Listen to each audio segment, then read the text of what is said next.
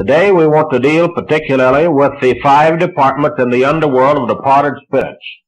Now you that have your Bible charts, you have this lesson illustrated for you at the bottom of the chart, almost all the way across the chart. You'll notice a green line on your Bible chart from the Garden of Eden to the end of the millennium. That represents the grave, the place of the body, the place where only the body goes. Then be, below that green line, you'll have five departments in the underworld of departed spirits.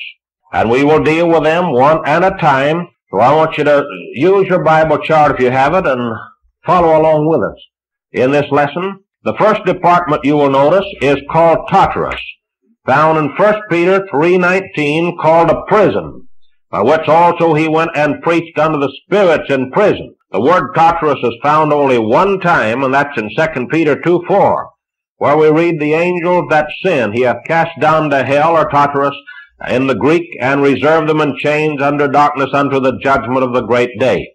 This is also referred to in Jude 6 and 7.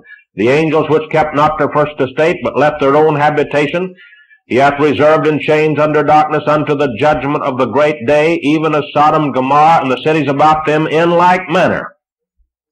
That is, as did these angels, gave themselves over to fornication, went after strange flesh, are set forth for the suffering of vengeance and eternal fire. This prison is the special one for the fallen angels that sin both before and after the flood. As we have already discussed in previous studies, no human beings or demons ever go into this department as we know from Scripture. It is the first prison the, on the chart and under the dispensation of conscience and human government, as you can see. In these passages, it is clear that there is a real hell. That is not the grave, and the spirits are confined in chains until the judgment. Now you can call the human hell the grave all you want to, but here is a hell for angels, and yet the same ones who call the grave hell tell us that angels are immortal and cannot die. So they'll have to agree at least that there is a hell for angels that isn't the grave if they don't want to believe the rest of the Bible concerning the doctrine of hell. How are we going to be foolish enough to, to believe that the extinction, that this refers to the extinction of angels and the unconsciousness of angels? Said they're reserved in chains under darkness. Why would they have to be in chains if they're not conscious, if they're not alive if they if there is not a possibility of them escaping or something. So here is one prison that they cannot possibly call the grave. In paradise is the second department in the underworld of departed spirits, illustrated on your Bible chart under the dispensation of law, right under the crucifixion of Jesus Christ. It's referred to in Luke 16, 19 to 31 as Abraham's bosom, which is simply another name for paradise and it's called paradise in Luke 23, 43. Jesus said to the thief on the cross, Today shalt thou be with me in paradise. So this is the second prison on the chart, and was the prison of all the righteous souls before the resurrection of Jesus Christ. For the righteous only.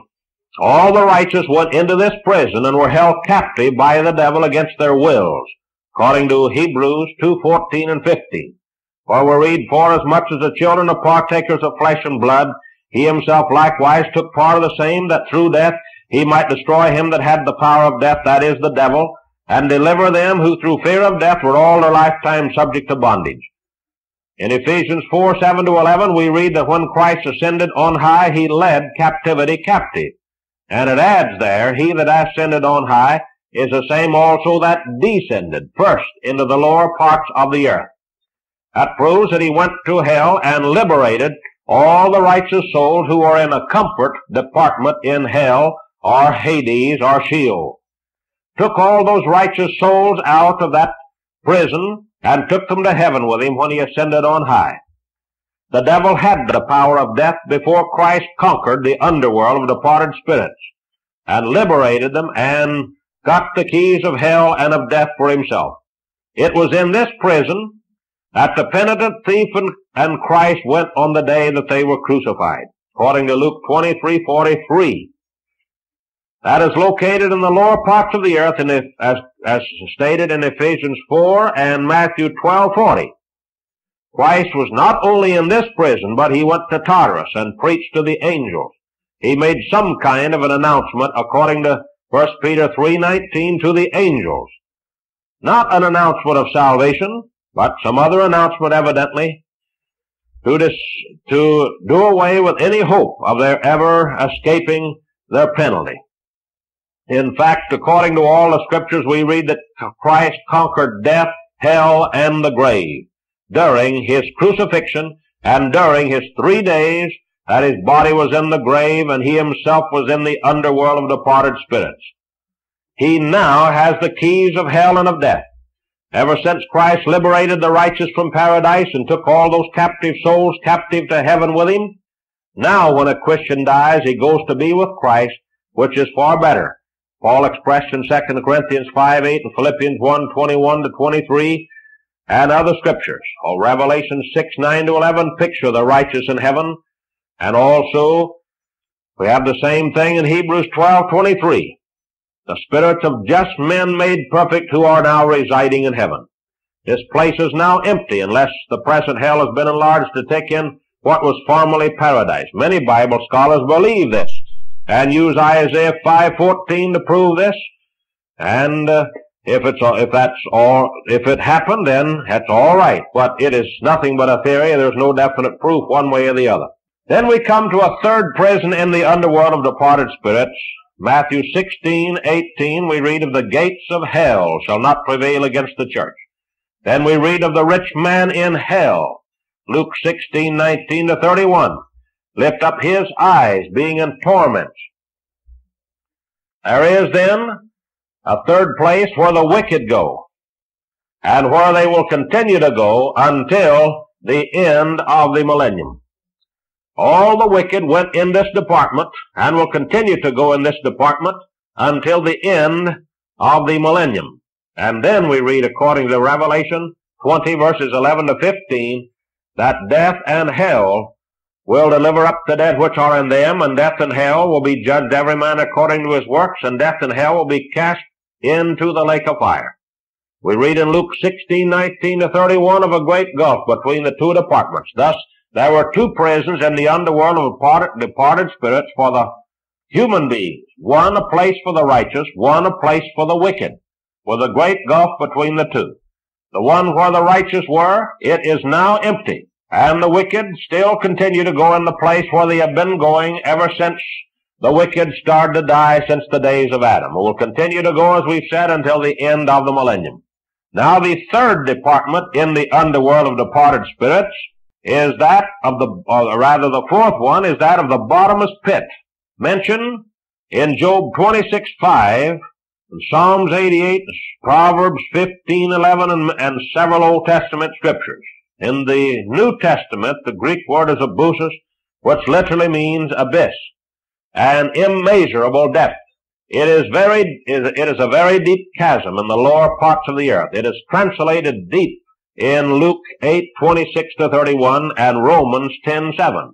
Translated bottomless pit, Revelation 9, and Revelation 11, 17, and chapter 20. Four chapters in Revelation called the bottomless pit.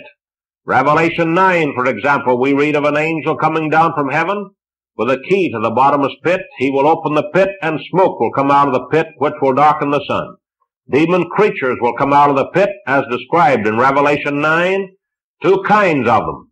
One the kind will, will torment men for five months. Another kind will destroy one third of men at a certain hour of a certain year. Then we read in Revelation 13 and 17 and also the 11th chapter, verse, verse 7 of the beast coming out of the bottomless pit. In Revelation 20 we read of the Antichrist or rather the dragon being put into the bottomless pit for the thousand years to deceive the nations no more till the thousand years are finished. Then we have another prison, a fifth one on the Bible chart, and that's called the lake of fire, or the Gehenna of fire, as Jesus expressed it, translated in the New Testament in the days, of, uh, that is in the Gospels, as hell fire. Also in the book of James, a third chapter. This is called the second death, or the lake of fire. It is mentioned in Revelation 2 and 20, and in Matthew 25, 41 to 46, Revelation 14, 9 to 14, Isaiah 66, 22 to 24, and other scriptures. This is the eternal hell and perdition of all rebels in the universe. All the other prisons will deliver up the prisoners that are in them. Tartarus will, del- will deliver up the angels. Hell will deliver up the dead which are in it. And the bottomless pit will, will deliver up the creatures that are in it. And they will all be judged at the great white throne judgment as pictured at the right hand top corner of your Bible chart. Then they will be all cast into the lake of fire, where they will be tormented day and night forever and ever according to the scriptures. So the present hell, the present place for the wicked is a temporary place. And the wicked will continue to go there until the end of the millennium. Read Revelation 20 verses 11 to 15 and it will tell you plainly that death and hell delivered up the dead which were in them, and death and hell were judged every man according to his works, and death and hell were cast into the lake of fire, burning with brimstone. Thus there are five prisons in the underworld of departed spirits. There's only one prison now for the wicked, and that's the temporary place. But there, and there'll only be one prison for all rebels in the universe, and that will be the lake of fire.